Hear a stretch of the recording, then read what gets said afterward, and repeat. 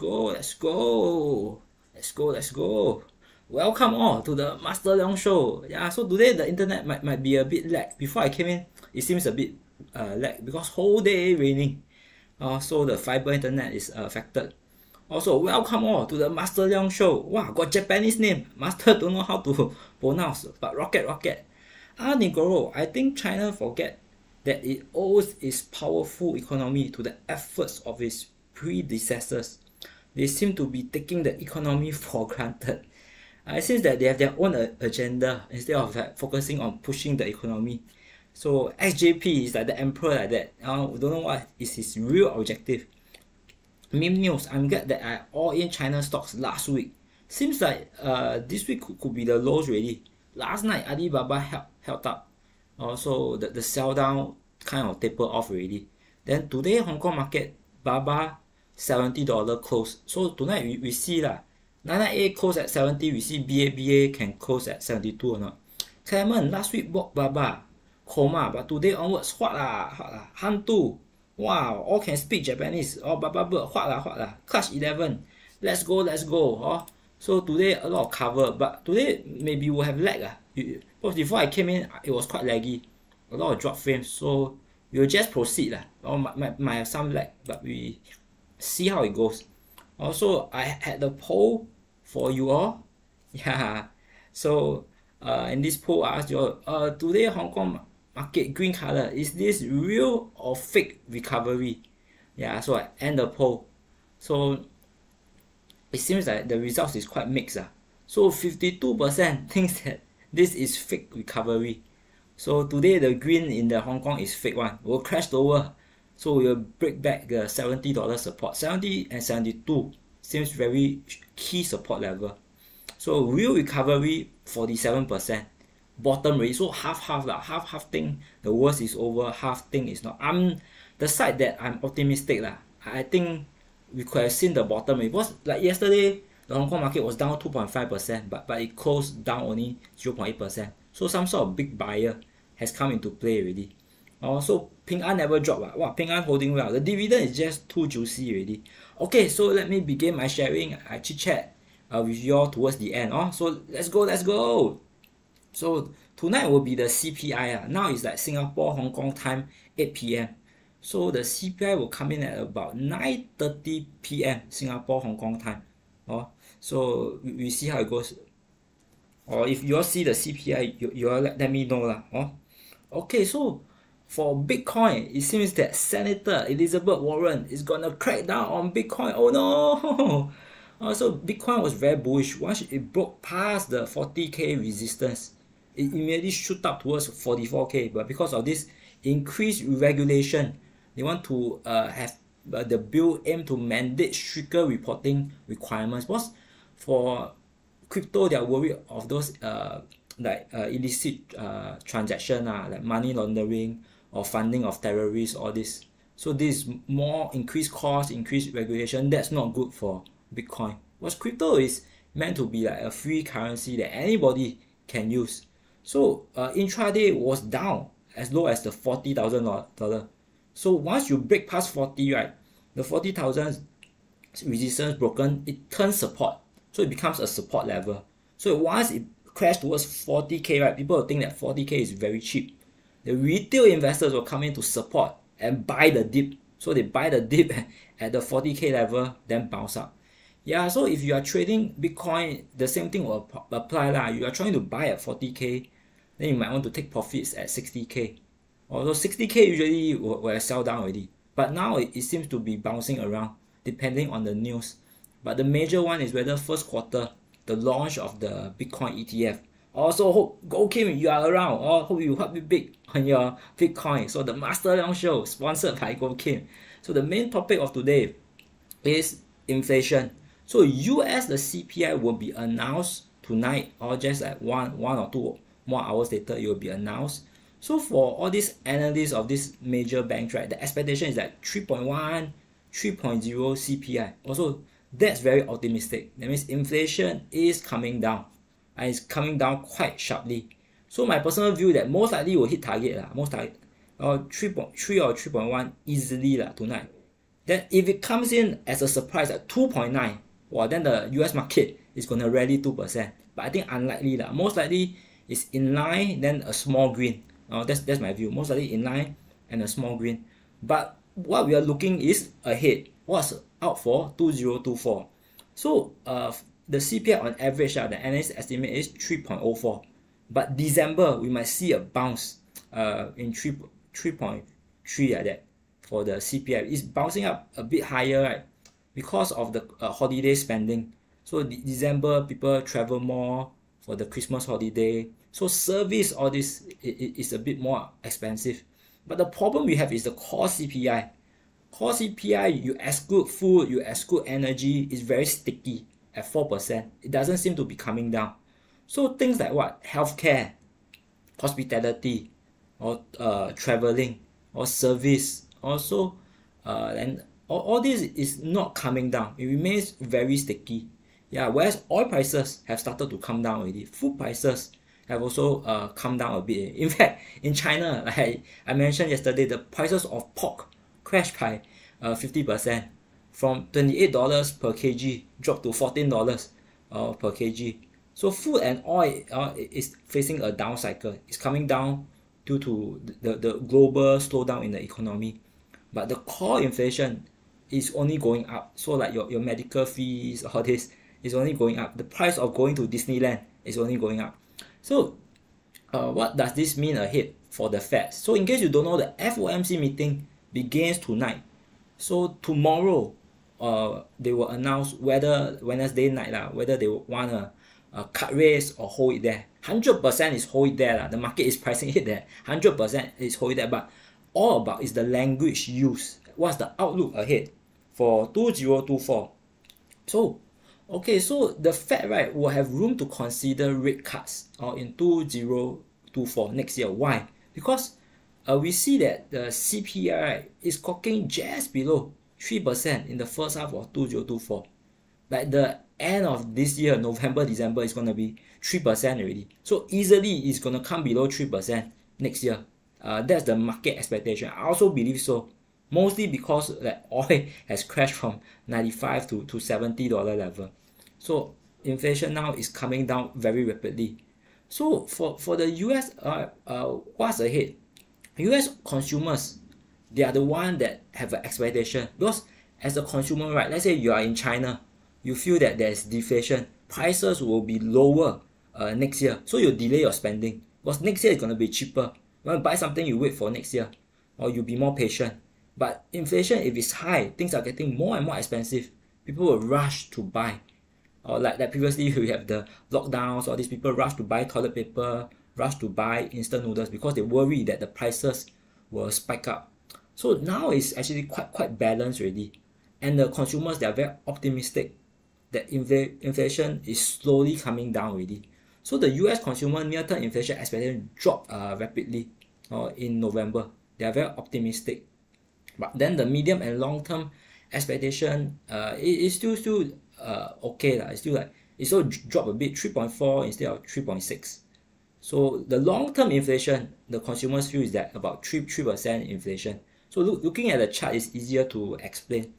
So previously, right, when you look at one or even two years ago, or consumers, right, they were very pessimistic. They feel that inflation is sky high at 6%, almost 6%, 7%. Everything was crazy, so expensive. Or then uh, consumers, they were reluctant to buy. That's why we have a slowdown uh, in 2023. But now, as inflation gradually come down, the expectations ahead, consumers feel confident that the government is doing the right thing, that the rate hike is working, and now interest rate is moving towards 3%. So I think 3% is, is more like the base. Lah. I don't think it's coming back to 2%. I don't think it's coming back to the, but for, for the Fed, their mandate is a 2% long-term inflation. I believe that you will remain at about 3% for 2024. It might come down a bit, but it's like 2.9, 2.8, 2, 2.7, that type. Yeah.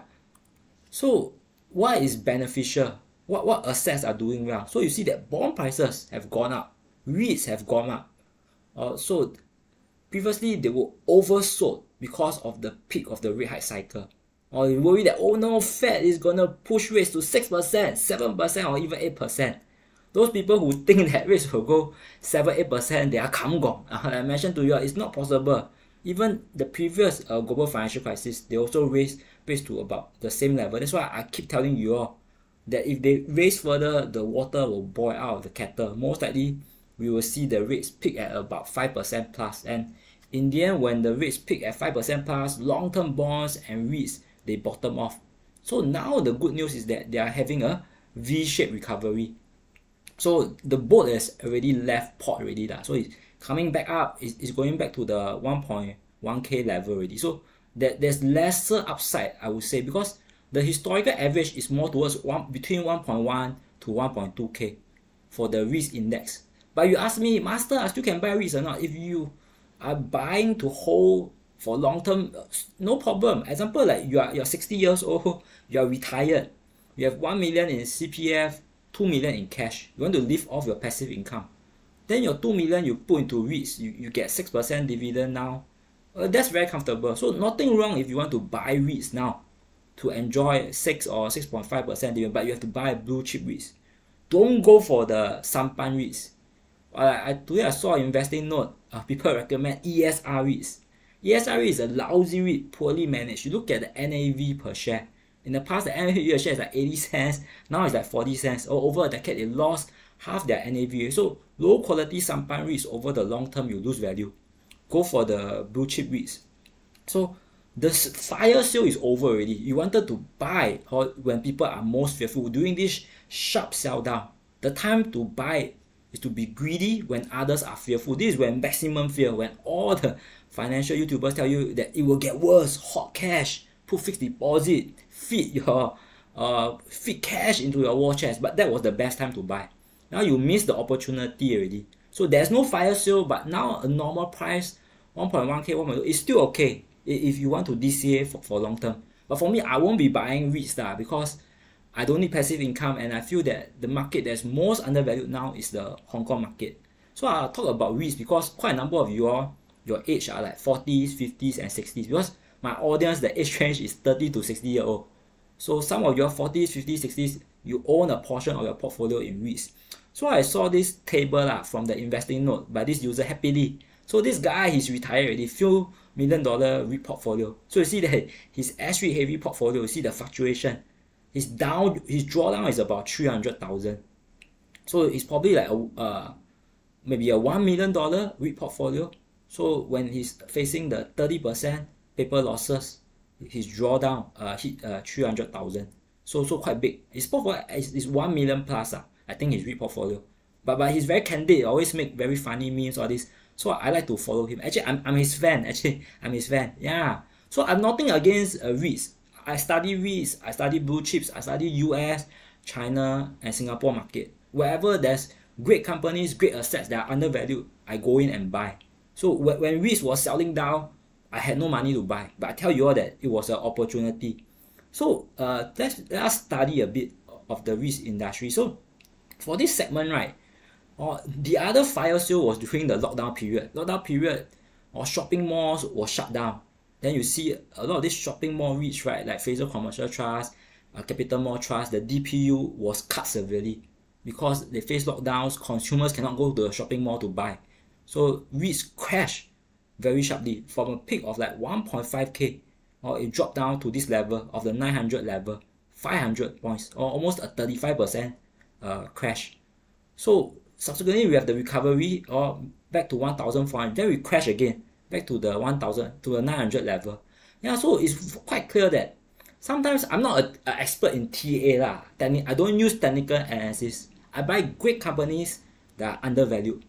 But usually right when you reach a point right that is too cheap example when i was shouting buy on REITs that i introduced you all the five tiger general they were paying like 7.5% dividend yield blue chip company Temasek own blue chip sponsor, blue chip status, low borrowing cost, good track record, solid office and uh, shopping mall assets. 7.5% dividend yield. And others tell you don't buy, it's gonna get worse.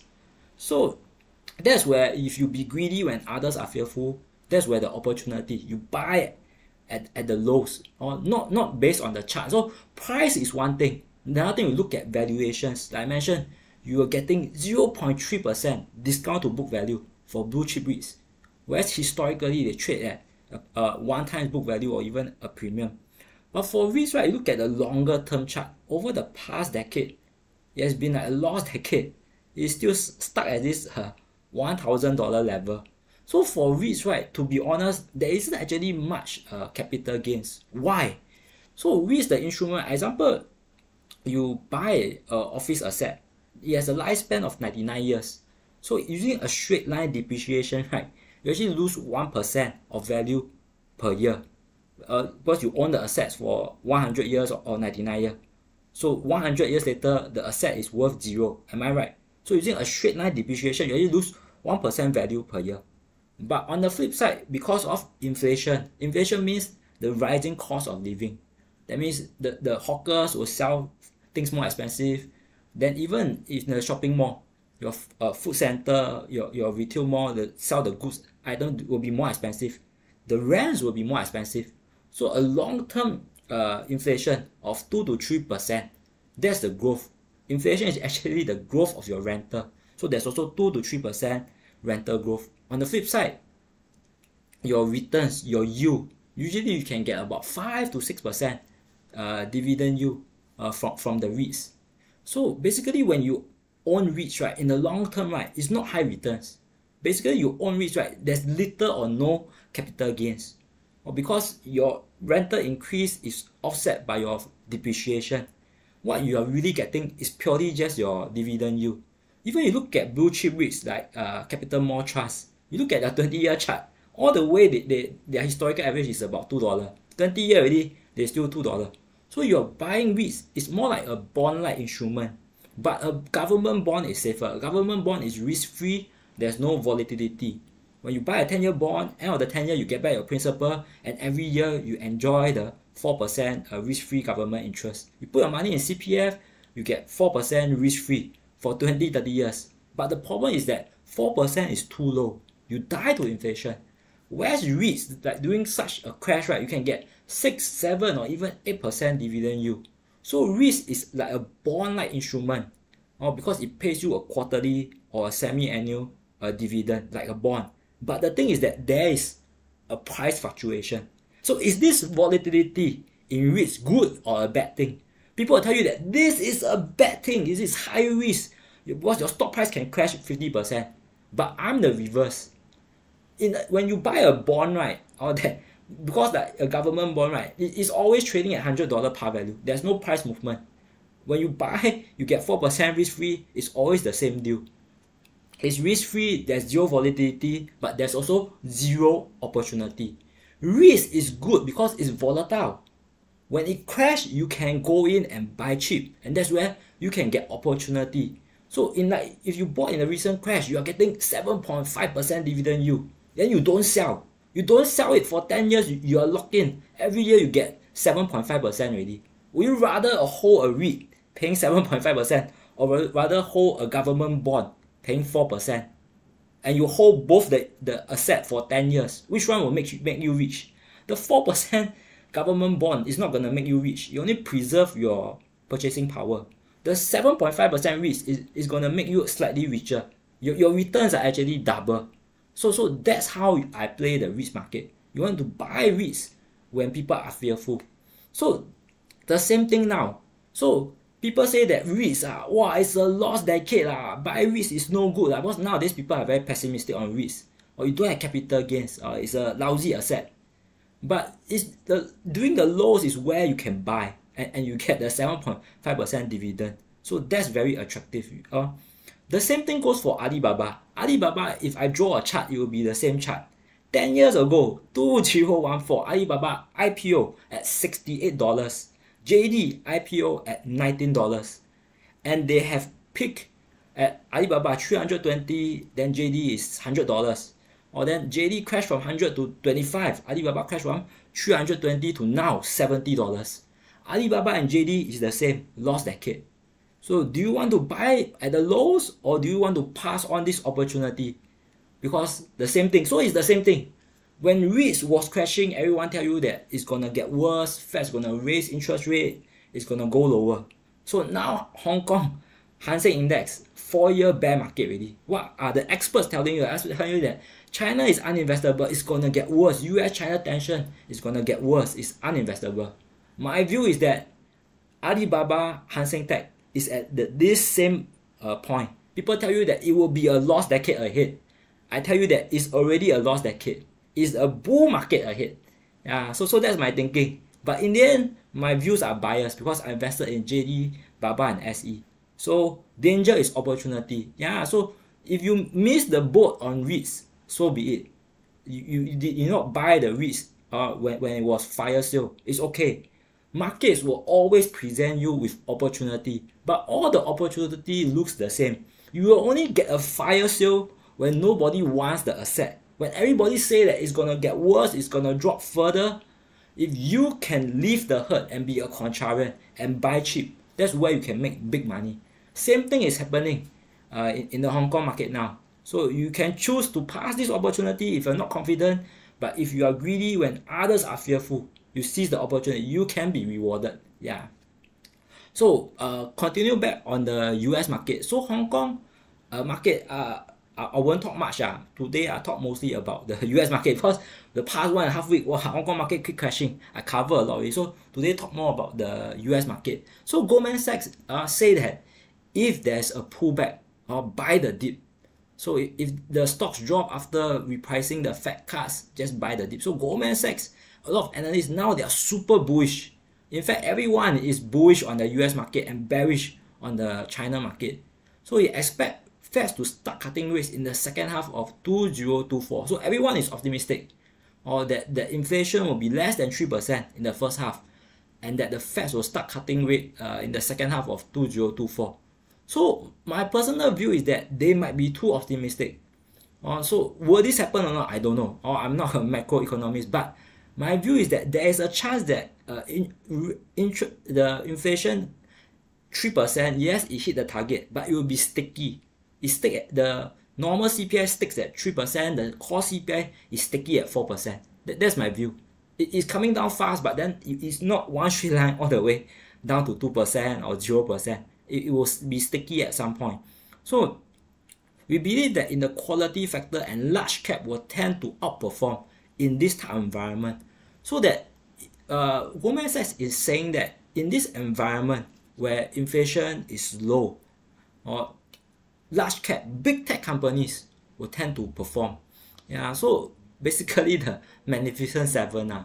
So Goldman Sachs, right, says that although the valuations are high, but they say that it will continue to go higher. So basically, I say follow the trend. Don't bet against the trend. Continue to buy big tech companies. Yeah, so you can see that the Magnificent Seven, right, the market cap has gained a lot. Whereas the S&P 500 as a whole is just up a bit only from, from the base level. Or like from the base level, it's up like 1.5 times, where this one is up uh, five, five, 5 times. Or in terms of market cap, like 5, 5 billion against uh, 1.5 billion. Yeah, so my view is that there's a lot of hype on the Magnificent Seven, but the momentum is so strong. So it will, the bubble will continue to grow. Like I tell you all yesterday, uh, the P ratio is about 31, 32 times earnings. So uh, the Super 7, they might be pushed to 35 or even 40 times earnings. Then usually it will take a black swan event, a, a, a, something that spooks the market for, for the bubble to pop. In my view, right, the one that is that could pop it could be the election, which is to, towards the fourth quarter of uh 2024. Uh, so my view is that the first half of the next year unlikely to crash because next year is the election year. So Biden will try his best lah, or to make sure there's no recession, there's no market crash, so that everything looks good. He will be re-elected.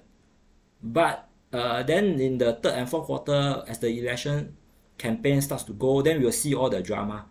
Yeah, so bearing something very will happen, like another war happen or what, a Taiwan invasion or what, but uh, if everything looks normal, then I think the first half of next year, the US market will continue to go higher.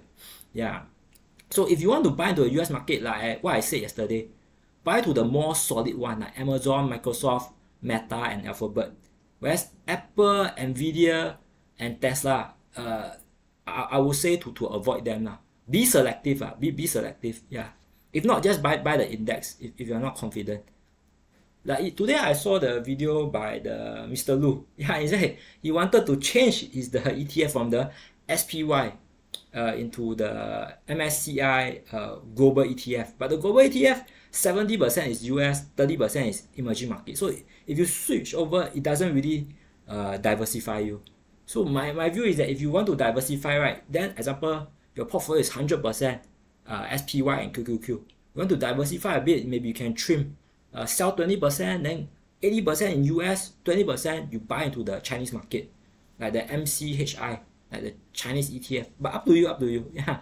I think it's a mistake lah. If, if to, for now that if you are 100% US and have zero exposure to the Chinese market, you, you might not have, you might not be like me 100% in the Chinese market. But if you have zero exposure to the Chinese market, you will regret. Yeah, because if the next 10 years China get out of this lost decade, you will be a, bull run. And you'll miss out a lot of, of these gains and you will underperform. So you want to have at least some exposure to the Chinese market, even if you don't believe in the Chinese market, because it's the second largest uh, economy. So for Goldman, right, they are very bullish uh, on uh, all these uh, big tech companies. So these big tech companies, they also have some problems uh, uh, because they are actually too monopolistic. like Amazon, previously I mentioned, they were facing the, the lawsuit because they were having a 50% or commission rate. So the government wants to break their monopoly because Amazon, the market share, I think is like 50% market share, too dominative already. Or they can charge a 50% commission on the merchant. That, that's too much already. That's why they are being sued. Then for uh, the App Store, right, like in the US, it's basically a duopoly.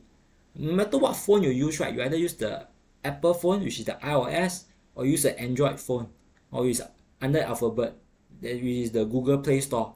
So they, they feel that this duopoly, right, or is anti-competitive. So they are being sued by Epic Games.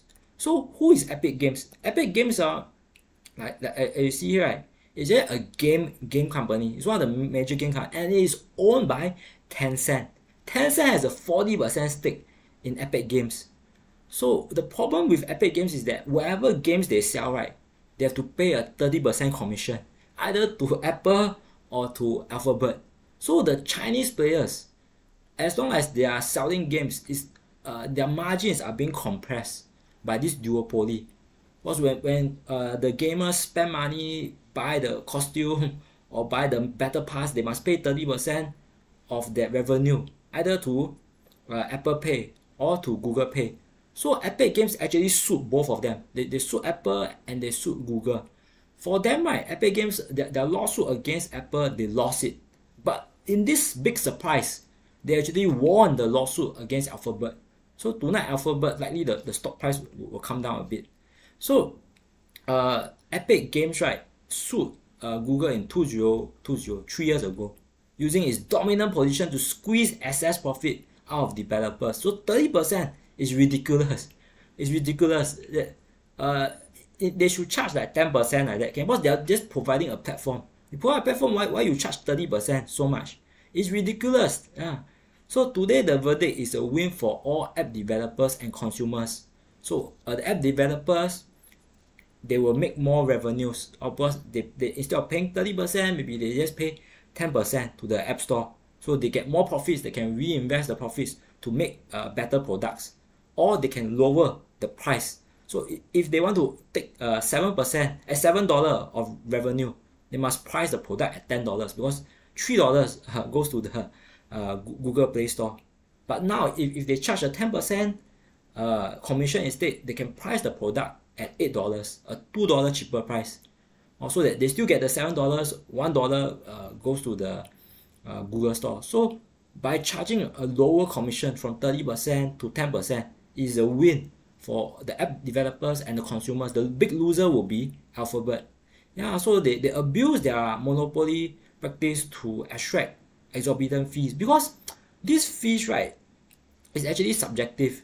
Like, uh, for, for the alphabet, right, some some people they, they don't pay 30%, they pay a lower fee. Example, the tech giant, uh, which is Alphabet, uh, actually paid 360 million to game companies like Activision Blizzard or and 19 other game developers to start an initiative called Project Hugging. So all these are actually the US game game players. Also, uh, Epic, which is under the Chi Chinese player Tencent, or said this was aimed at discouraging them from developing rival apps. So you monopolize what's all the, the game companies uh, support Alphabet. So technically, right, this is like a rebate like that. So yes, Activision, their games they pay a 30% commission, but they are getting a rebate uh, back from Alphabet through this uh, six, 360 million. So their actual real cost is less than 30% commission, whereas Epic Store, because it's a Chinese company, you have to pay the 30%. So during the internal strategy deliberations, Google at one point discussed purchasing a 20% stake in Epic for 2 billion. Oh, but they never went ahead. Uh. Basically, they cannot sue. They think that they will lose, so they want to buy out uh, Epic. But, but Epic, but uh, when they wanted to do this, I think Tencent raised their stakes to 40%. So no, no point. Uh. If they buy 20% in, but the big brother is still Tencent. Tencent is definitely a competitor against uh, Alphabet. Yeah, so in the trial, you see Epic also point out that Google's decision to let Spotify use its own payment system without giving Google a cut of the revenue. So what happened is that, right, example, you, you use the app, right, in the app itself, if you make payment, Google gets a 30% cut. So one way they do, right, to play around this, right, is that they let you click to go to another external link. Or in the app, they get your email. Then they email you to ask you to sign up as a member. So when you're using your browser to sign up, it actually bypass the Google Pay and they don't have to pay the 30% uh, commission. So this is what Epic did with, with their games. They actually, for, for the consumers that download Epic Games, when they want to make payment, they will actually redirect out to a third-party browser. So because of this, Apple and Google actually ban Epic the game and take it off shelf because they say that it bypassed their their payment system they are not being fairly compensated or for providing the, the app store. Whereas that spotify so spotify they, they are able to do so because i think google has its own like investing portfolio. I think google has a stake in spotify or something. They have some sort of uh, partnership. That's why spotify has an advantage. They don't have to pay the 30% commission to google. So that, that's a huge advantage without the 30% uh, tax cut. So it's very unfair. It's very unfair. Yeah, that's why in the end, uh, Google lost this lawsuit. So the worry, right? So definitely Alphabet will drop to tonight. Apple might also drop. Apple might drop is because people think that Epic send uh, Epic Games, right? Because they win this lawsuit, they can use this as a basis to fight with Apple again. Then sue Apple again using uh, this same reasoning. And I think there's a high chance that they will win. So my view is that number one, they are charging too much. Uh, 30 percent commission is is ridiculous lah. A, a more fair commission is something like 10 or, or, or 15 percent. But Google, I think they got uh, after they got sued in 2020, they did some adjustment. So now it's not all the apps fixed they take a 30% cut. There's a range uh, 10 to 30%. I think like education, all this like the more like got government initiative, all those type, maybe they, they take 10% only. So for Google now, they're charging 10 to 30%, depending on what product uh, category. But Apple is strictly all 30%. Yeah, so but uh, so in the future, they will be nerfed lah. Then secondly, in China, right, uh, the Chinese players they are frustrated with the duopoly of uh, Apple Pay and Google Pay. That's why now we have the Huawei Harmony OS, Xiaomi Hyper OS. So in the next five to ten years, uh, the ecosystem of the mobile phone will be disrupted then it will come from China, Middle East, South Africa. They will decide that why must I use US big tech uh, company? I can use Chinese big tech technology like Harmony OS or uh, Hyper OS. Example, if they burn money to capture market share, they give you the phone for free. But you use the phone for free, example, it's a cheap $50 phone. They let the African people use, but you must use the Harmony OS huh? so that that might be their game plan So speaking of developing country, so yesterday I mentioned uh, Jensen Huang. Uh, he was in Vietnam and he was keen to open another uh, research center and a semiconductor plant in Vietnam. So today the news is that Emperor Xi is, is also visiting Vietnam. Yeah, so many many people are in Vietnam to do trade and to make investment because of the U.S. China tension. Vietnam is the one that benefits uh, the most. So Jensen Huang captured or, on Twitter picture that he's eating the pho lah. So this is the best one lah. The picture at the right you can see the beef noodle, the juicy juicy. So this is the best. Every, every when I, I'm in Vietnam right, every morning I will eat pho. Yeah, this, this is the best.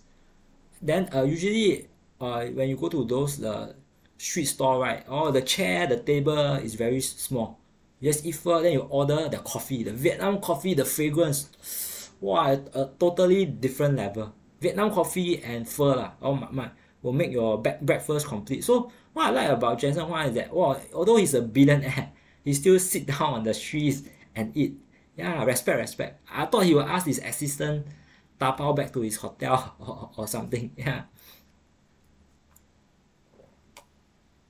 So Nvidia, uh, which is getting a lot of hype in the US market because uh, the, their stock price is so high 400 500 you notice that they are they are still raising capital.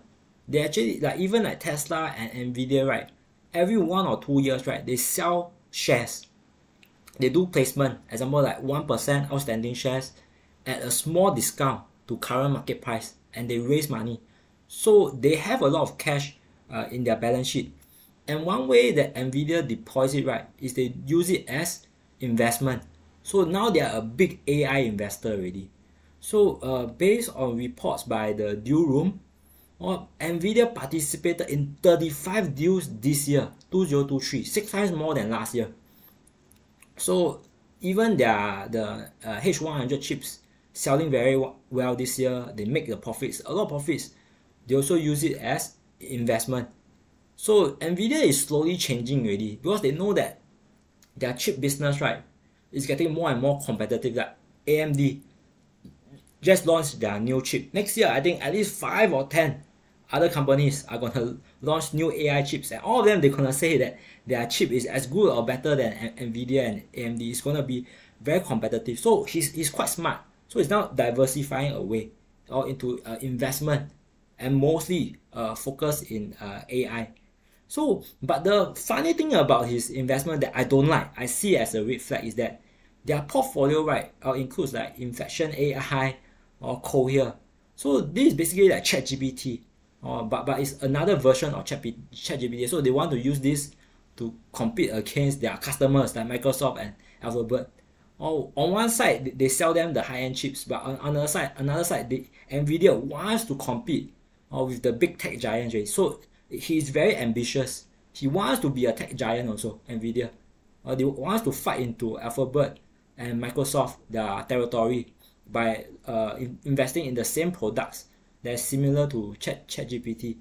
Then the, the funny thing right is that they have other investment like Hugging Face, or I think it's like the face scanning or what one, uh, or data provider of data tools for AI developers. Then there's CoreWeave. So I mentioned before about CoreWeave. CoreWeave basically is a data center company, and they purchase all their chips for NVIDIA, but their biggest and probably the only customer is also NVIDIA. So it's very weird.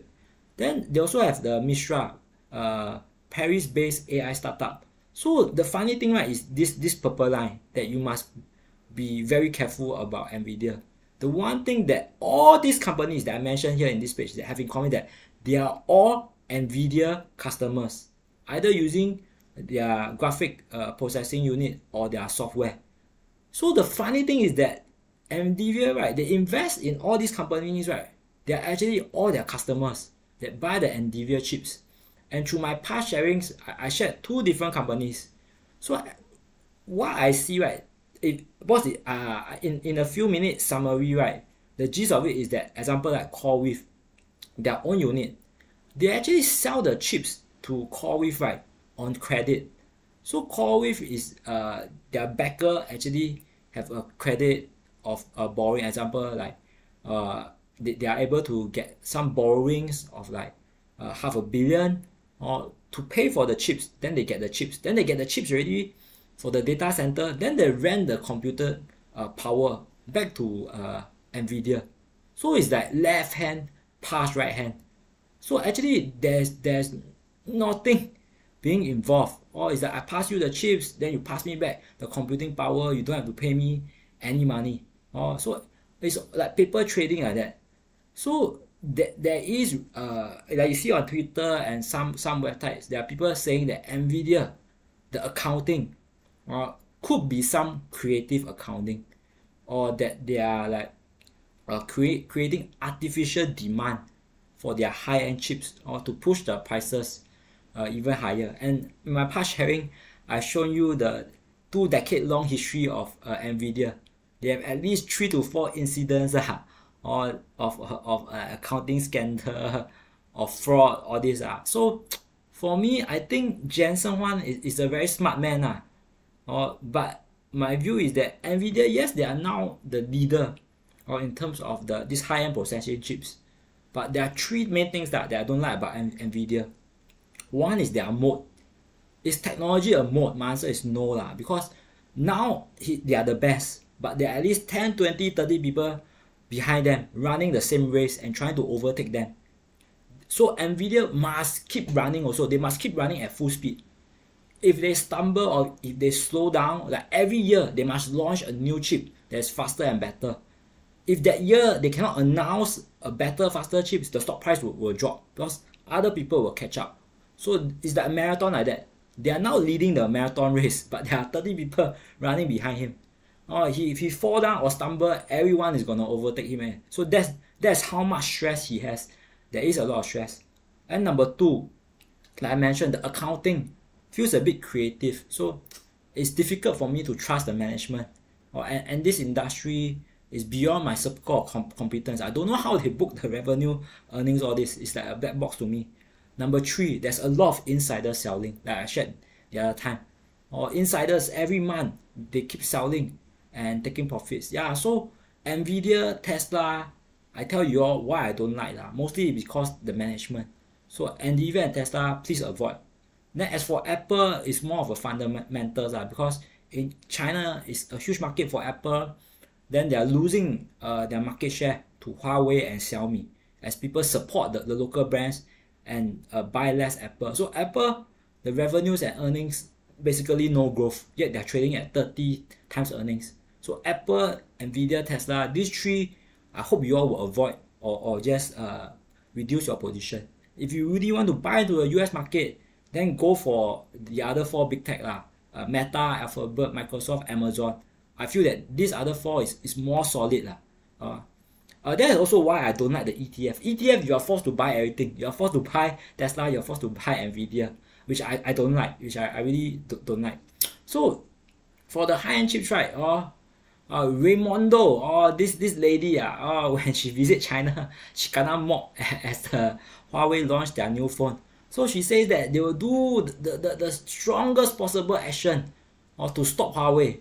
But there are rumors, uh, but I don't have a confirmation news. There are rumors that uh, Huawei, not only they reach 7 mm, they have now just reached 7 nanometer already, or reaching already 7 nanometer. So the, the Chinese players, they're catching up very, very fast. But once I have a confirmation news, I will share with you all.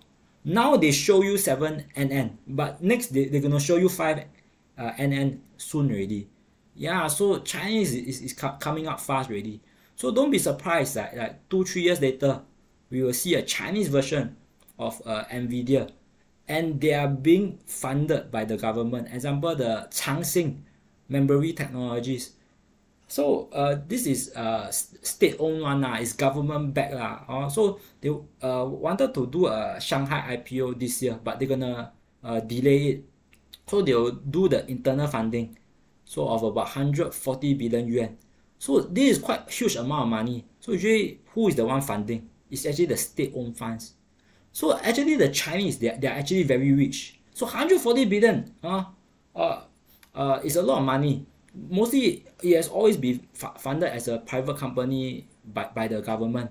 So the strategy now we are seeing is that the, the CCP, right, they are cash rich, but not, they are not pumping all their money to the property market. Or because the property market is one quarter of the GDP, but it's a dinosaur GDP. If you look five years, ten years ahead, it's not about property.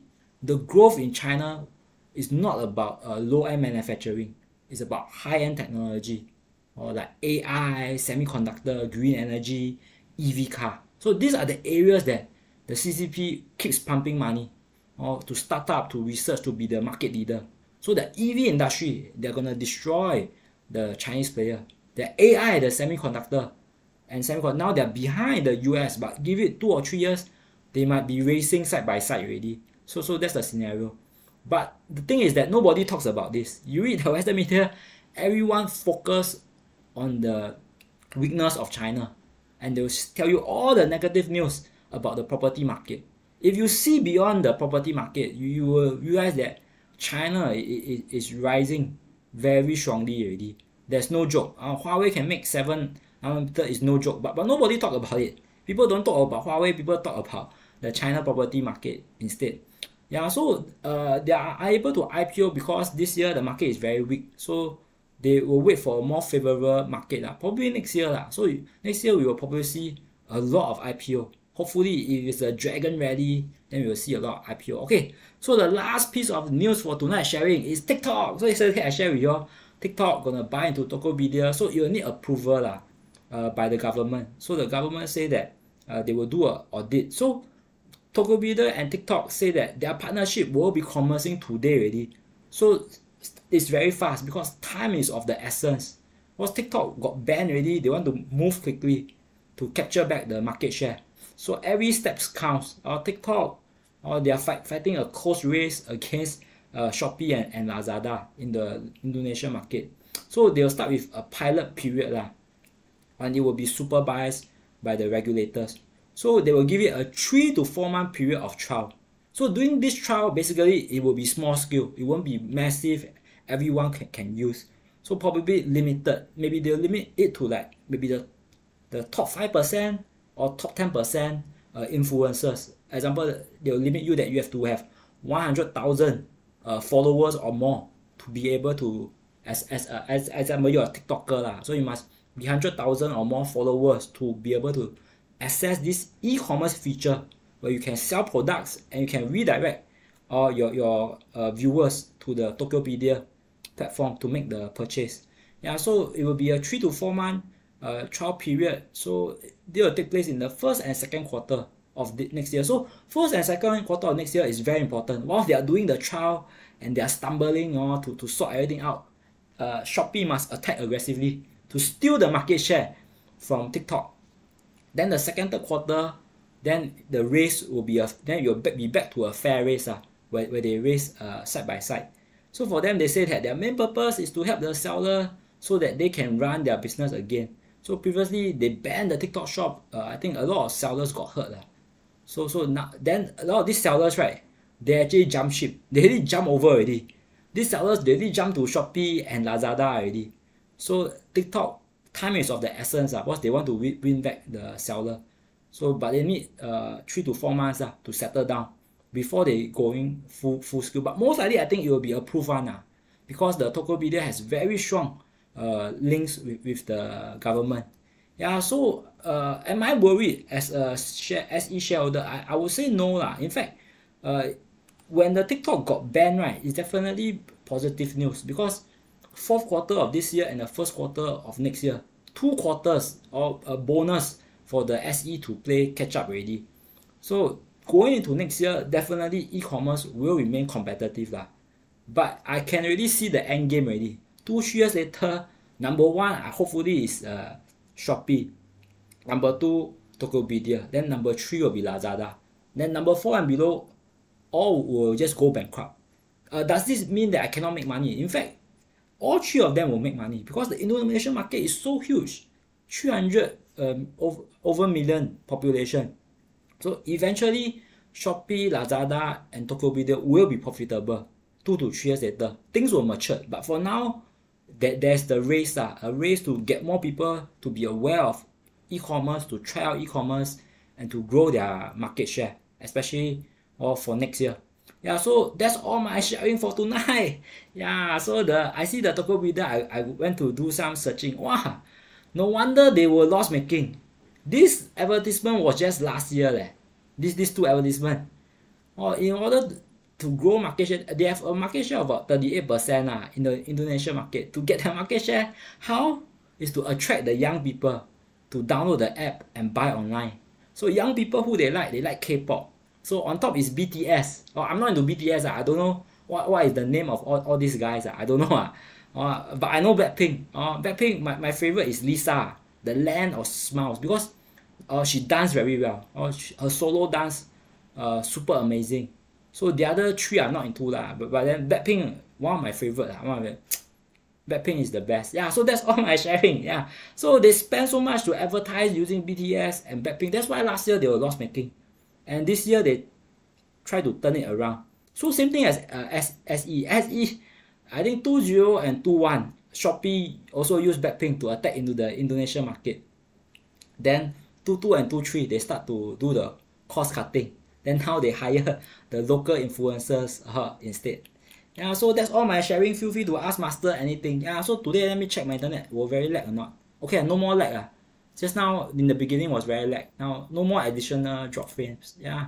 So thanks all for coming in. What lah, what lah. Yeah, so just a short shout out. Okay, Dennis Tan Che In, welcome, welcome. SC Huang. Uh, CH Huang. Chicken said SoftBank can't go back due to the SoftBank prepaid forward contract. Yeah, so you I watched the chicken video. I watched it. I still don't understand the forward contract. Yeah, it, it's quite messy lah. Uh, basically the summary is that uh, the because of the forward con- contract is in the best interest of SoftBank and the investment bankers that the Alibaba price remains depressed. But I, I look at the SoftBank their presentation slides. Uh, they really have zero interest in Alibaba. All their stakes are uh, exited through the forward contract already. So for contract based on my research lah, I look at Wall Street Journal, uh, all this right, and Financial Times right. Their forward contract, most of it should end in the mid of 2024 and early 2025. So if what he say is true, then Alibaba the stock price may remain depressed until early 2025. That's the worst case.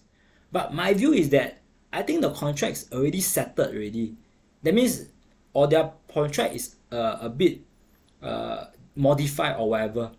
That means uh, uh SoftBank right previously like uh 25% stake in Alibaba, 30% they already sold all their shares indirectly through the investment bankers. The investment bankers already helped SoftBank sell already over the past two years. That's why Alibaba is, was on a downtrend over the past two years. So they are sold already. That's why now the $70 it cannot break below because those that want to sell already sell. All the major shareholders already sold off. There, there's no longer any major shareholder. The biggest shareholder now, 3 3.3% uh, Jack Ma, Uh, 1.5% Joseph Tsai. Then the rest is like Saudi Fund, Michael Burry, Temasek. That a lot is retail investors. Alibaba board is mainly like 80% the shareholders is retail investors. That's why the movement is so volatile because it's due to the retail investors, they panic sell or whatever. Yeah. So eventually it will have a flaw lah. It will have a flaw lah. So if you want to hold Alibaba, ask yourself lah. If you buy Alibaba and it goes, it remains depressed for another one year or two years, can you take it or not? Uh, but it, my, my, my view is that it won't remain forever depressed. Maybe 2024 another bad bad year so be it, but eventually the, the sun will shine again, the storm will be over. As long as Alibaba keep increasing the earnings and the revenues. Let's say you can increase revenues 10% every year, earnings 15% every year. Then every year you can raise the dividend from $1 to $2 to $3 to $4. So then eventually the stock price will go up ma, because the dividend yield will be higher and they give you like bonus shares, Cainiao shares, Corp shares, all this. Yeah, so so I'll be patient. I'll still keep buying lah. If, As long as my margin is not a problem, then every month I'll still DCA. 500 to 1000 dollar uh, into Chinese tech like Alibaba, JD and SE. Yeah, so that's my thinking. Ah. You see the bad view, you see the bull video, then you come to your own conclusion. Uh, Yeah, but but I would say 90% uh, most of the videos on Alibaba is bearish. Ah. Because the bearish videos are the one that get the click. You, you bullish videos, uh, you don't grow that fast. Okay, Lim CH, India stock market overtake Hong Kong market as the seventh largest stock exchange. Well, India and Japanese market doing very well. I think the Thailand market uh, is in the bear market, crashed 20% this year. Yeah, Lee Young, welcome, welcome. Mum Kok, Baba down because Charlie Munger part is so away. Is it? Haven't yet lah. Uh, the Daily Journal haven't announced ma. Uh, wait for them to announce lah. See if they sell or not. But but Charlie Munger uh, did say that he regret buying the Alibaba. He bought quite high lah. I think two hundred dollar, hundred eighty dollar level like that. But Charlie Munger in his last interview with the Becky CNBC, he mentioned that he bought a big block of Alibaba for his own family fund. That one he do not he do not need to declare. So his family fund also have Alibaba, but whether he sell or not, uh, we do not know. Chong Costa, welcome, welcome. Today Shopee is 12 12 ah. Oh yeah, today is December 12 ah. But I never see any advertisement, ah. Never see any hype. Ah. Mr. Tokoyomi yesterday bid uh, 35.7 for SE successfully ah. You call it ah, wow, 画啦，恭喜恭喜啊，哇，画画啊。Aiden, I just took profit, 1.5k profit from SE. Got in yesterday, 35 uh, So fast take profit ah. I think easily can go to 40, 45 leh. Yeah. Pixel Princess, I cannot burn by ESR, cut loss already. Oh my god, oh no. ESR cannot make it lah. ESR, the, the NAV always drop one. Yeah, you can, I, I show you my investing note lah. Yeah, I just log in. You know, you can see uh. But then I see, see that. My account cannot ban already. Master, master Leong, but I cannot check or what. My account ban already. Yeah, then this is the clone, clone account lah. But, but I don't check or what. So the ESR is very bad. So uh, I saw it. Uh, people discussing about the NAV keep dropping and dropping. So it, it, it's very bad. Yeah, I see they talk about the ESR. So one thing about lousy REIT, right? You see a lot of people complaining. Number one, they do the portfolio enhancement. They spend 240 billion to do the portfolio enhancement. That's ridiculously lost a lot of money. Is it is it the to the benefit of the contractor or not? I don't know. Yeah, so this one is the best one. ESR REIT or NAV per share used to be like 70 cents, now it's down by half already. So this is the best example of Sampan REITs. Uh, cannot touch one, the fundamentals no good one. Uh, the REITs are the one that they can hold the NAV per share or they can increase the NAV. So for ESR REIT, right, one thing that I tell you, master don't like industrial REITs because industrial REITs, the lifespan is short, only 30 years. So the depreciation is high. That's why, example, uh, you buy a factory or, or warehouse that only left 15 years. You can buy it at a low price. Then your rental yield can be 10%. But you can only use the property for 15 years. 15 years later, it is worth zero. So you, you, you depreciate over 15 years, what your depreciation per year? Or, or almost 5, 5, 6%. You 5, 6% depreciation, but you get 10% yield. Your real returns is only 4, 4%. So that, that's what happening with ESR REITs. It, it holds a lot of lousy industrial asset. That's why I don't like to buy industrial REITs. I only buy blue chip commercial retail REITs. That means office buildings, shopping malls that have 99 year lifespan. That means I can hold until I die one. That means I buy then you will give me a rental until I die, 99 year. I don't buy industrial REITs. Industrial REITs the least 15 to 30 years. I die already, or uh, but I don't know. I mean the, the the industrial property die before I die. So so avoid all these uh sampan REITs. Uh. Yeah, class eleven. Everyone uh, welcome to invest in Hong Kong. We are very cheap now. Yeah, Hong Kong. Four year bear market. Hong Kong market now is super cheap. Hong Kong like got minimum investment. Yeah, the, the minimum shares are some is like 50, some is 100, some is minimum 500. The, the lot size is all different for all different counter. But Hong Kong is not cheap. Uh. Hong Kong, you, you need, if you are a new investor, lah, your portfolio only 10k, 20k, I, I, I, I would say don't play Hong Kong market yet. Lah. 10, 20k, you play the US market is cheaper because minimum is one share. Your portfolio is like 50k, 100k, 300k that type. That, then you start to play Hong Kong market. Mm, yeah, you need, otherwise the commission will kill you. Lah. Yeah, your portfolio, uh, Hong Kong market the commission is a bit higher. US market the commission is uh very, very cheap. Yeah. Uh, okay. Hantu DPU drop dividend gone case. Yeah, that's right. Uh, Ryan YouTube, why you say seven percent uh returns every year? Doesn't it depend? Yeah, yeah. So on have average, so for REITs, uh, for, for right, mostly your returns come from your dividend. So when you invest in REITs or stocks, right, there are only two ways to make money in the stock market. There are only two ways to make money in the stock market. Only two ways. There's no third other way, okay? One way, right, when you invest in stocks, right, is to get capital gains. You buy low, sell high, capital gains. Another way to make money in the stock market is dividends. So that's the only two ways. Uh, another fancy way, the third way is you sell option, you get the premium. That's another thing, like, but purely stocks only, right, is capital gains and dividends.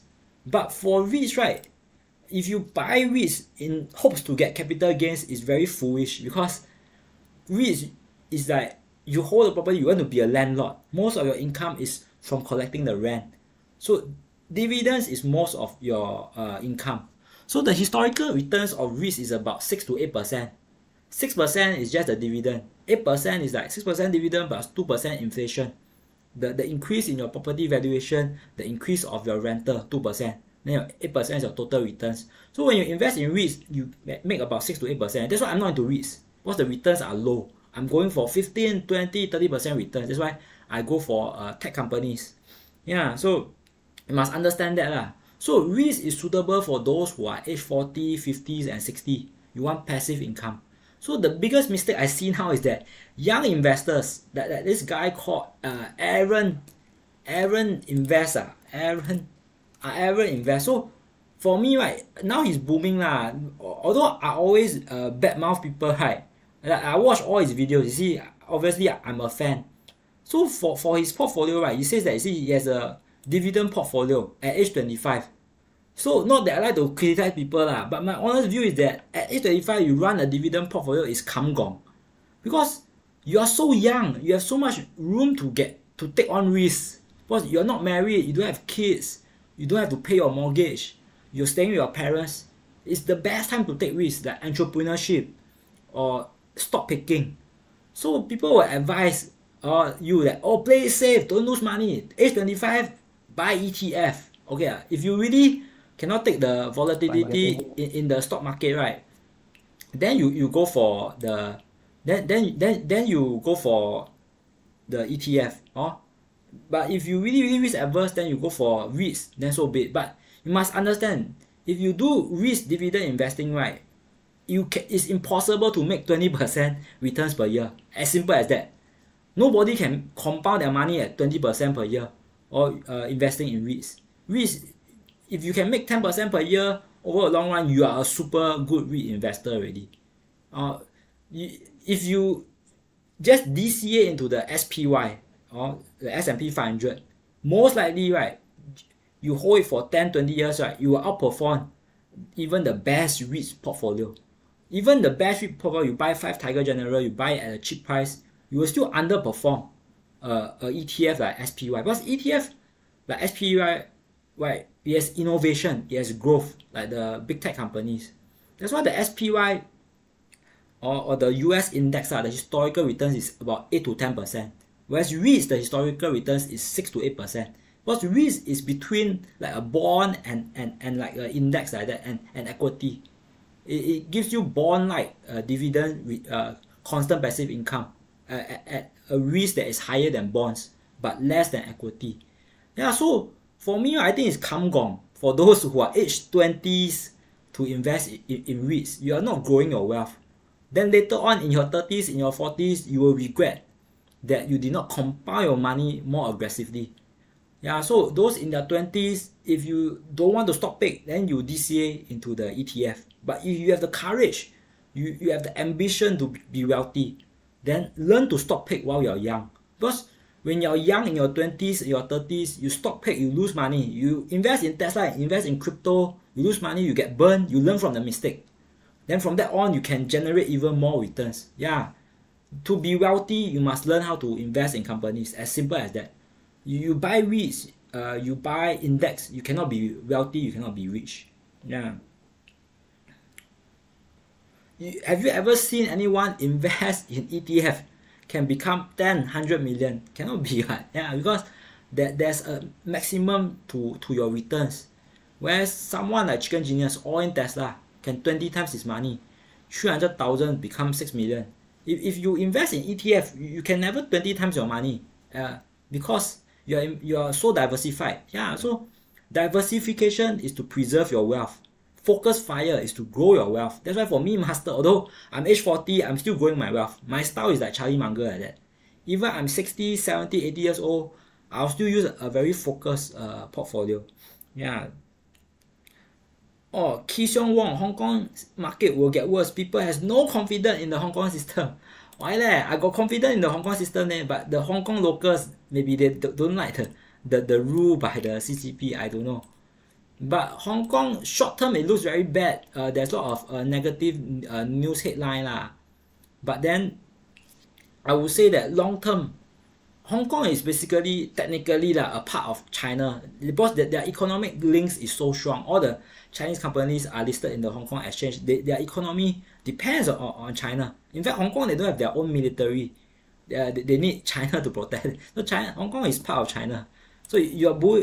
So my views on Hong Kong and China is the same. I, I, I'm positive. I'm bullish on China. I'm bullish on Hong Kong uh, over the long run.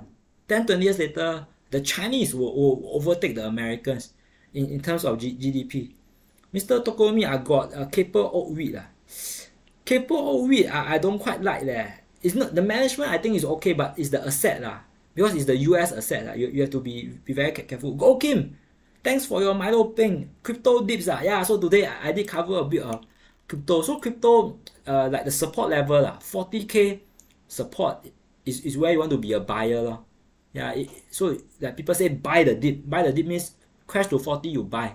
Then sell sell the rally. So if you buy at 40k, it rallies to 60k, you try to take a profit. So for Bitcoin, if you're not buying it as a store of value, then it's more for trading. Then you must have stop loss.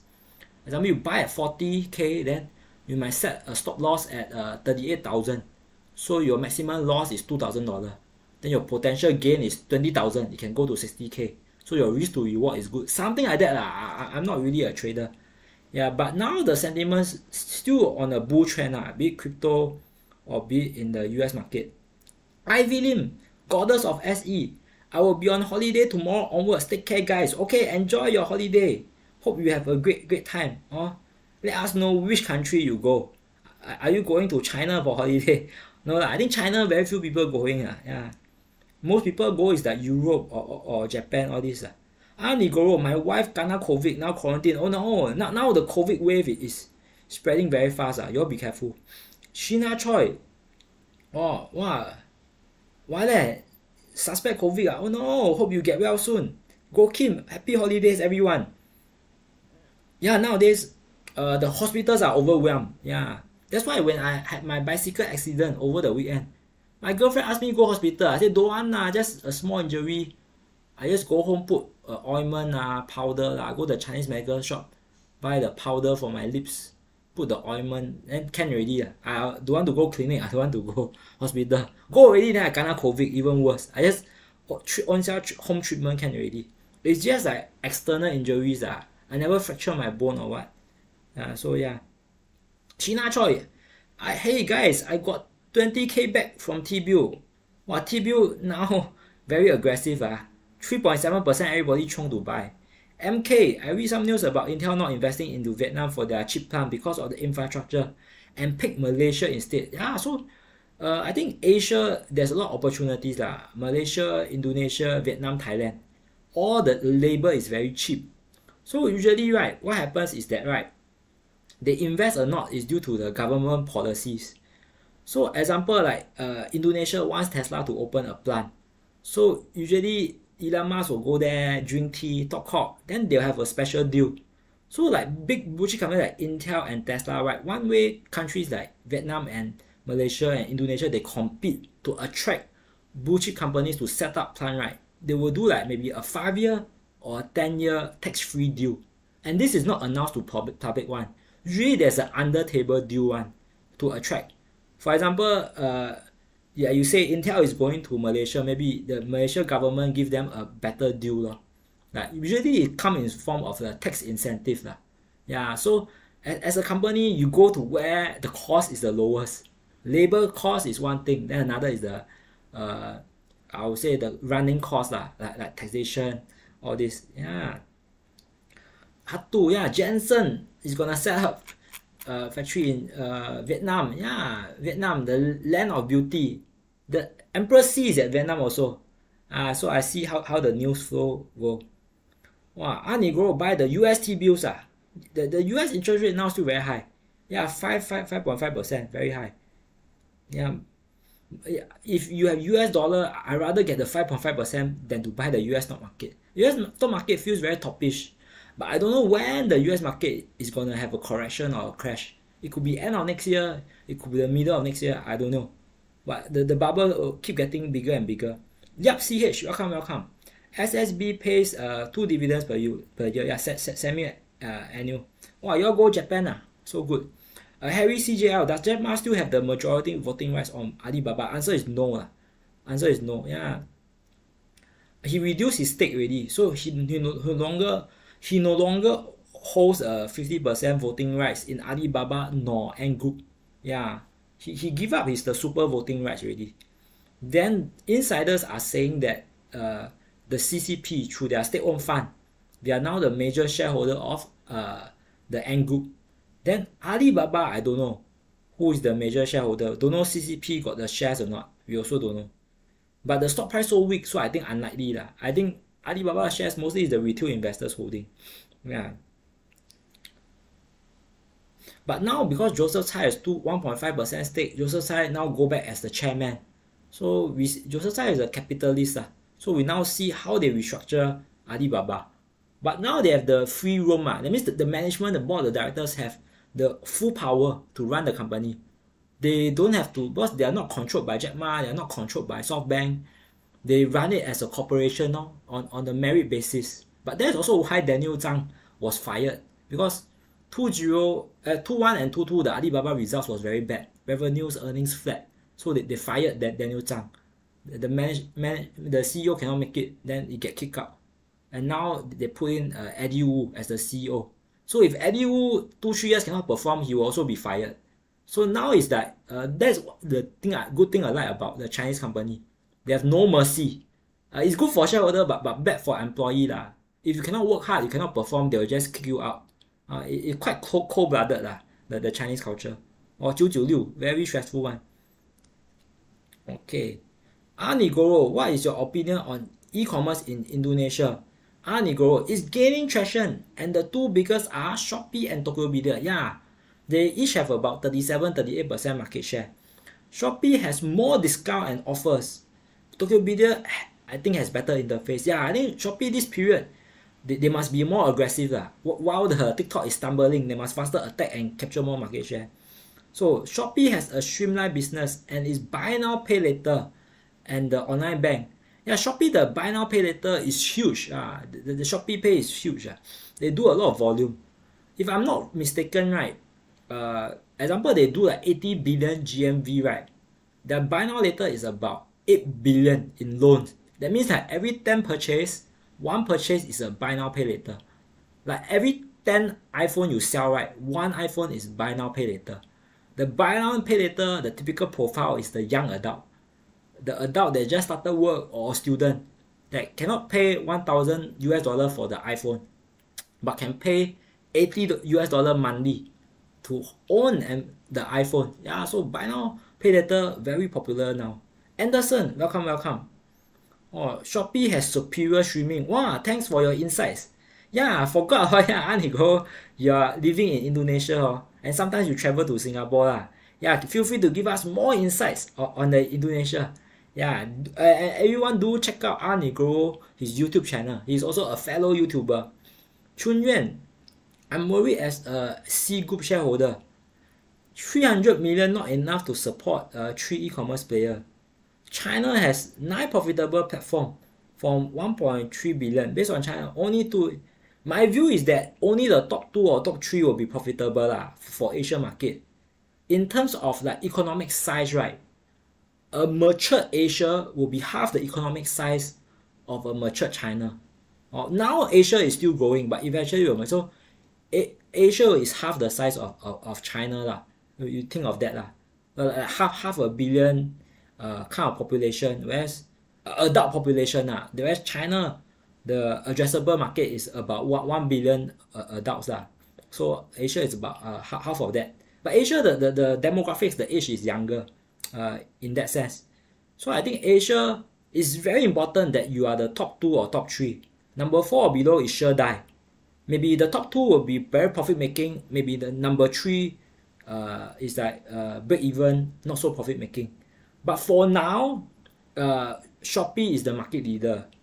Shop Shopee has like uh, 40 to 50% market share in the Asia market. Then uh, number two is Lazada. Then for Tokopedia, they're number three, but they only operate in Indonesia. Yeah, so then TikTok is number four lah. TikTok is attacking all around Asia already. Yeah. Uh, Pixel Princess Master like uh, Lisa cause crazy horse. Is it Lisa got go the crazy horse one? Huh? I, I, I didn't know. Huh? Yeah. Go and watch the crazy horse show. Huh? Uh, you all know. Huh? Ayo. So adult stuff. Huh? How come you all know crazy horse? Huh? In China, the what? Huh? The, there's this celebrity, she go and see the crazy horse. Then she kena ban.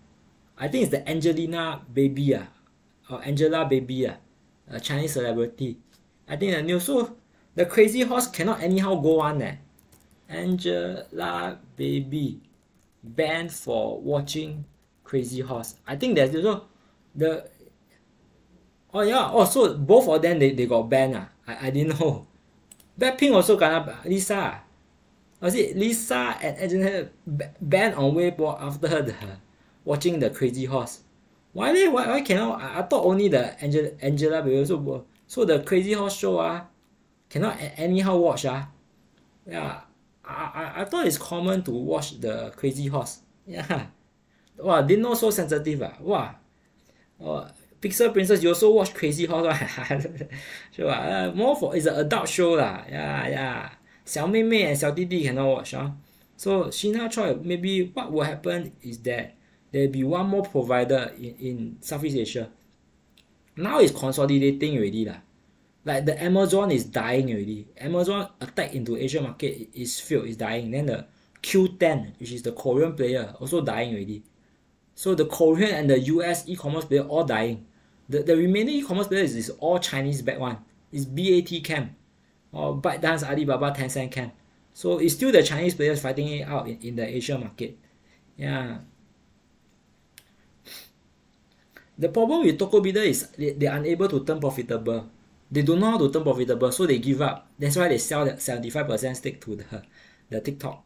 Let TikTok burn money and fight. Then they don't have to contribute any, any more cash. Yup, CH, I'm confident with SE when I read all your posts. Thanks for support. Yeah. In the past, I got do a deep dive on SE. You can take a look also. Yeah. Ah, Nigo, that's why I never sold. Cause I know Tokopedia cannot make it. Oh, no wonder. Yeah, because I myself, I use Lazada, I use uh, Shopee before, so I feel that their platform is okay. Uh, Shopee is more like cheap and good lah. Then Lazada is a bit more atas to me. But both platform, I feel I like Shopee more. I myself, I use Shopee lah. I buy at least one purchase per month lah, from, from the shop from the Shopee lor. Like my computer table, I buy eighty dollar, quite cheap only. Yeah, then I might need buy some like pillow or what from, from the Shopee lor. Pillow blanket I buy from Shopee then delivered to my to my doorstep. So Tokopedia, I don't know much. Oh, but thanks for your feedback. Tokopedia cannot make it. So so that's good sign lah. That's why Tokopedia, they are so quickly and so fast to, to sell over to TikTok. So it's a bad purchase uh, for, for, for TikTok, I, I would say. Yeah. Yup, CH. SE should go up tonight, back to 40 lah. Slowly lah, slow and steady lah. Just wait for the next uh, coming results. Yeah. Oh, ah, go. you also own Tokopedia. You own own through Astra. Astra is I remember it's the Indonesia blue chip company. Eh. Astra Wiki Indo. is an Indonesia company, right? Astra International. Yeah, it's under the Jardine Matheson family. So in case you all don't know, right? So ja, Jardine Matheson, right, is a blue chip company uh, listed in uh, Singapore, but also in uh, UK. So there are UK people they, they start a commemorate in the beginnings of uh, Singapore until now. They are a trade trading hub. Uh. So under their subsidiary got like Hong Kong Land, uh, Dairy Farm, all this. That Astra is one of their subsidiary. So Astra, right, they are like a car dealer like that. So they, they make big money, right, by importing the Japanese car and selling in Indonesia. So their balance sheet is very strong. So what Jardine Matheson do, right, is that they use uh, all these companies under them to make investment. So Astra has, has a huge uh, investment portfolio. But I, I, I forget what is their investment portfolio already. Yeah, a long time never see because I researched Singapore market. It's like uh super super long ago. Yeah, I cannot see. Uh, I don't know. Yeah, then you see the Astra Group, right? They are focused. So Astra Group, they are invested in the Tokopedia. Now, now, now that I know. Yeah, so so so like like you see master how I have all this knowledge is that through 10 over years every day I read 3 4 hours I learn about the companies. Then you build a circle of competence. Then you slowly slowly widen your competence like Asia China US market. Or ne- never ending learning. Learn, learn learn learn about all these companies. The wider your circle of competence the stronger your conviction when you get into a company or into a sector Okay, Max Garmin. So is it good to buy REITs now? Or no Sampan REITs, yeah, don't buy Sampan REITs. Or the boat left port. So for REITs, right, I, I would say now you still can buy REITs. REITs are, they are not expensive. I, I, I would say. You look at the last decade, you see, the peak is that uh, 1,500 level. Now we at 1,100 level. So the fire still is gone, but REITs is still at the low end. So now still can buy. Uh. If let's say like you're in your 40s you're, you're still working you're making 5000 or 8000 a month you're putting 2000 in the stock market uh, every month. I would say it's still okay if you want to put 2000 every month uh, to, to, to dca into the singapore REITs. Still can dca lah. 1100 1200 uh, is still good to dca but once it goes to 1300 1,400 level, it will be on the high side. Lah. Then I will, I will stop DCA lah, because it could be overvalued. Yeah, now it, it is still, I would say, a bit cheap or, or fairly priced. Yeah, but the bargain level is gone already. Lah. The, the, the boat has left port already. Yeah, but, but it's not far away from port. Yeah. Shina Choi, SIA dividend very good this year. Yeah, finally they, they reinstate dividend and they're booming uh, from the this uh, post reopening. Shina Choi, my DocuSign finally green today. Wow, you invest in DocuSign ah? This one I, I don't know much ah. This is the high growth tech also. Yeah, yep, CH. We have a lot of Lao Jiao here worth the time spending watching. Yeah, yeah. I think not only I hope not only you find value in my sharing lah, like through the chat right, because my, my viewers is quite international, but more heavy towards Asia lah. It's like 50% Singapore, then my Asia viewers is like Hong Kong, Malaysia, Indonesia, or India also have. Then I also have uh, viewers from the western side of the world like Africa, Europe, and US. So 50% is international because Alibaba shareholder is from around the world. So uh, example like Anigro is from Indonesia. So he, he give us the sherry on the Tokopedia. Then we know that oh Tokopedia actually is not so good. That's why they, they want to sell it away to TikTok. So so that's insights. Because we cannot be on the ground. So it's good to know people that are overseas that, that are on the ground. Anantas only big boy can move the stock price. If Baba help only but then not easy to move. Yeah, so we must wait for the the big boy to come back in. lah. Like we are waiting for the Chinese funds to do QE to buy Chinese stocks or the Saudi fund or the Temasek fund to buy. So we, retail investors can only back hold. You must wait for the big whale to come in to buy. Yeah. And you actually got another way. Yeah, you can lend your shares out. Yeah, in Singapore, we have the SBL, lah, Securities Borrowing and Lending. So you pledge all your shares, you park, park it with the uh, SBL. Then if people want to short, then they'll borrow your shares, pay you a, a interest, like 6 or 8% uh, borrowing cost then they sell the shares in open market. The stock price drop, then they cover back, then they return you the shares. Oh yeah, yeah, idea, idea. I, I forgot about it already. Uh, SBL, but I never use the SBL lah. In the past, in the Singapore market, I, I use it, but the Tiger Moomoo, all this, I think don't have the SBL function. So Shina Choi, Aaron, I got watch his video also. I think he want to quit work early. He want to have a set of passive income. Yeah, I think that that's the trend. Uh. A lot, a lot of young people, they don't want to be in the red race. They want to live off their passive income, like AK71. But I feel that is the wrong direction. If you're in your 20s, you should invest for growth. Invest for capital gains. When you are old, then, then you invest for passive income. In your 20s, in your 30s, you want to invest more for capital gains. 40s, 50s, then you slowly move move towards REITs. Yeah. Sheena Choi, ah yeah, how come there's a bird beside your name? Yeah, you are Baba Bird already. I think you get you win the free Baba Bird. Your, your bird, you are silver bird. Yeah, you start from bronze bird, silver bird, gold bird. Then the last form is the is the red bird. Is the uh, phoenix already. Rainbow bird is the last form. Yeah, you become bird bird already. Yeah. Yeah. Hantu is red bird. Red bird is the old bird already. Red bird is all senior. Red bird is their their bird bird for more than six months. L LYS 07 master is DBS a good buy. Ah? DBS $30 level can buy. Uh, but recently it's down, right? Yeah, I, I, I would say you want to buy to now a bit expensive. Uh.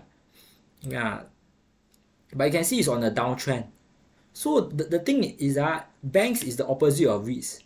When interest rates are going up, it benefits the banks because they can lend at a higher interest, their net margins improve, then they are more profitable.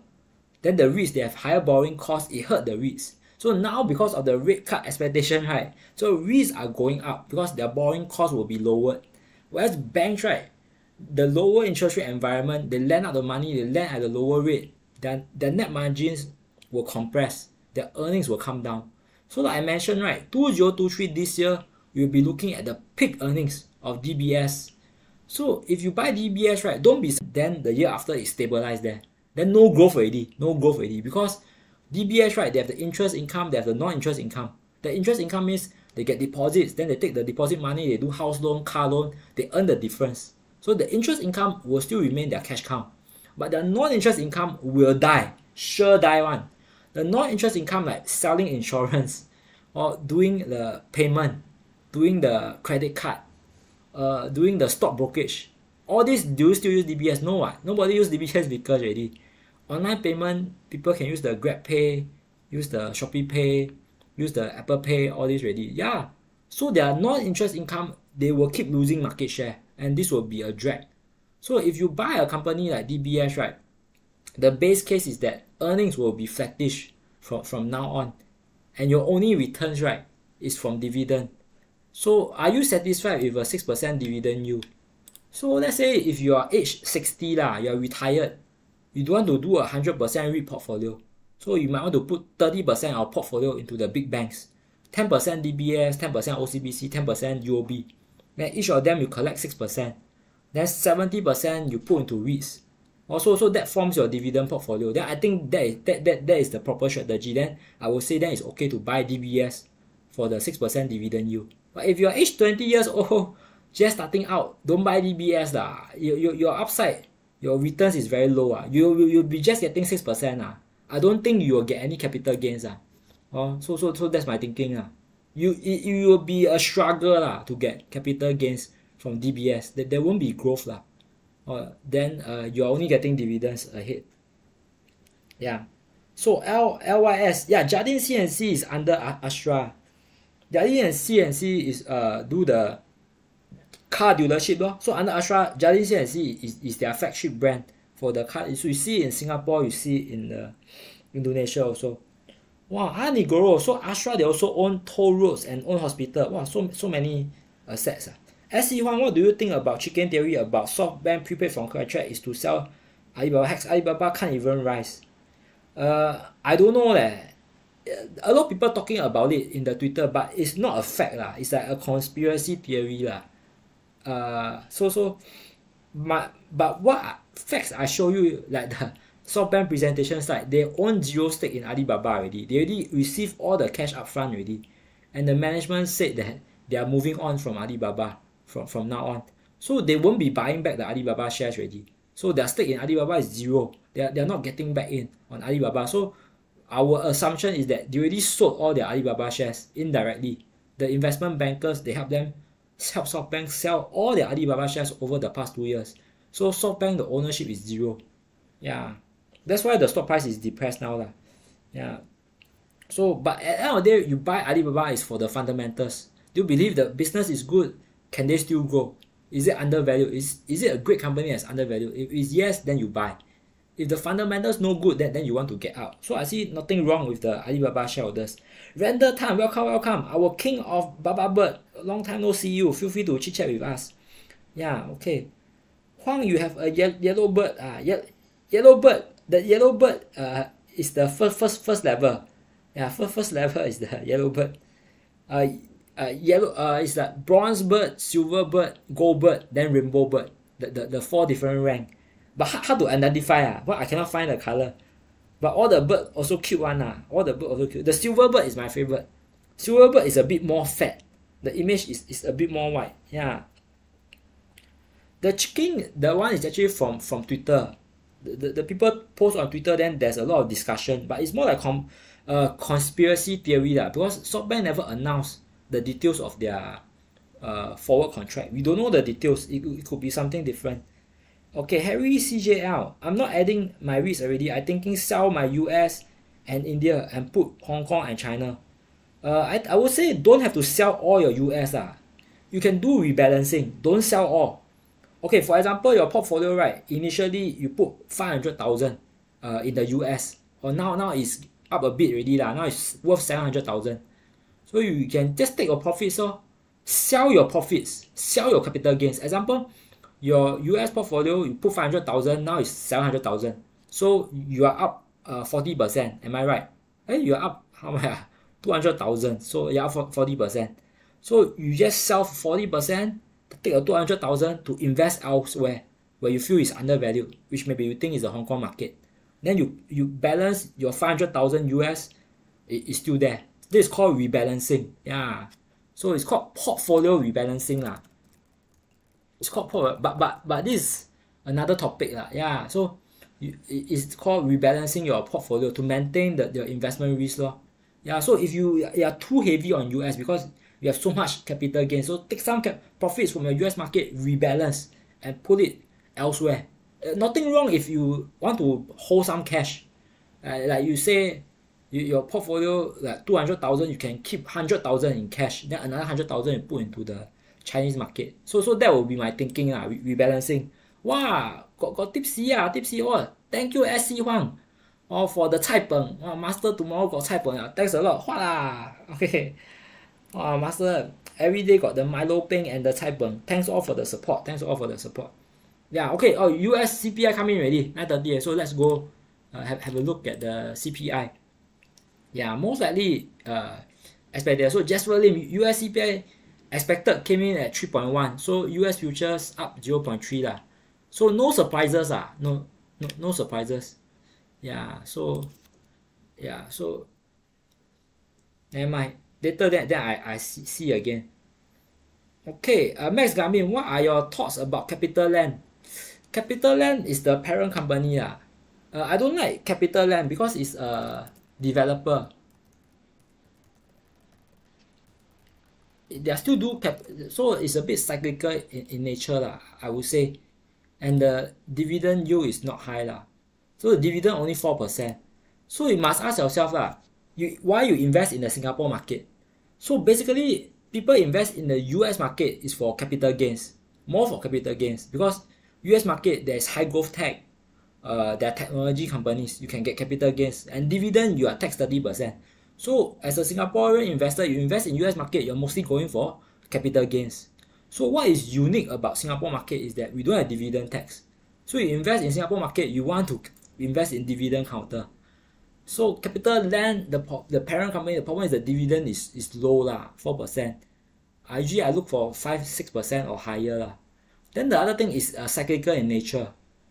Then now it's facing a down cycle. Then third thing is that it has exposure to China. I very long never see this company, but in the past last time I see it, right, almost like half the portfolio is that they do like half Singapore, half China. So the, the, the exposure to China is huge. So if you want exposure to China, you might as well invest in Chinese companies.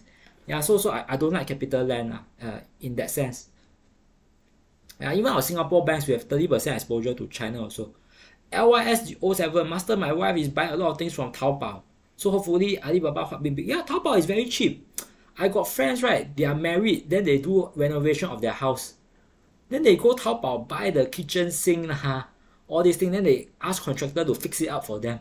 Then they save a lot of money because renovation is expensive. Right? You might spend like 60k, 80k, 100k for renovation.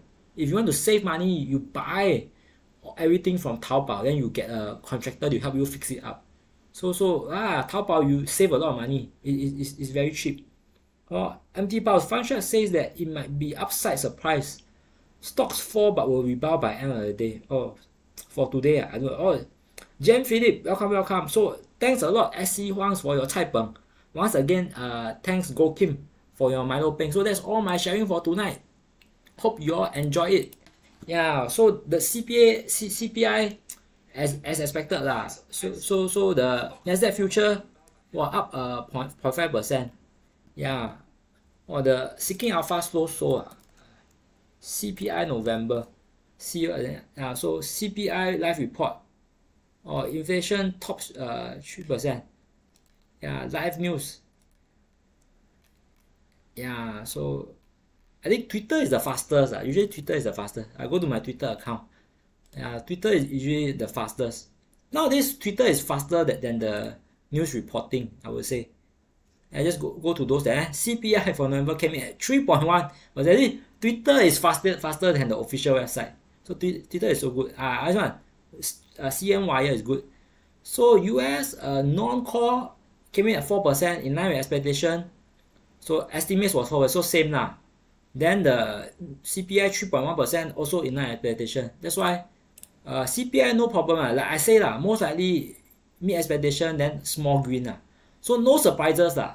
Uh, so like November, December, I don't feel any surprise. But what the what's ahead is important. So we will begin the FOMC meeting. Then FOMC meeting tomorrow, then they will come out the statement and they'll say that oh they will, they will hold interest rate lah. But uh, investors, what they're looking at is the dot plot chart. Like what, what is the interest rate expectation ahead? Uh? Yeah, so that's all my, my sharing. Yeah, my black mark, yeah. My, my here, my lips and the, yeah, because of the bicycle accident. But one to two weeks, it will go away lah. I got put the ointment, all this. Yeah, master very fit, don't worry. Yeah, but I don't want to ride bicycle already. I too old already. My agility very low. I just go hiking already. I don't want to ride bicycle with my girlfriend anymore already. Not fun, uh, not fun. Uh. Just slow walk, see the sunset, sunrise better. Yeah, so that's all my sharing. Thanks all for coming. Take care, everyone. CPI strong, US market up. Hopefully, Alibaba will hold at the $72 level tonight. Oh, take care all. Bye bye.